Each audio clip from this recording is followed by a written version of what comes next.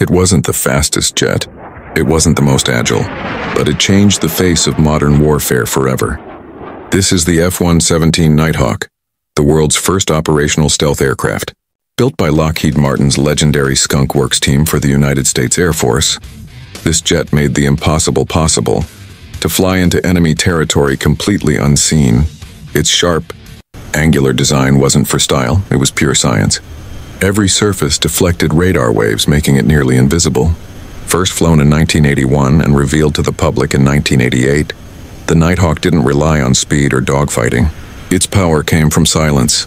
Armed with two precision-guided bombs, it could strike deep inside enemy lines and vanish without a trace. During Operation Desert Storm, it hit Baghdad's most guarded targets while radar screens showed nothing but empty air. No other country ever owned this masterpiece. It belonged solely to the United States of America. Though officially retired in 2008, some are still secretly flying for testing and training missions. The F-117 wasn't just a jet. It was a shadow in the sky, the beginning of the invisible era of air combat.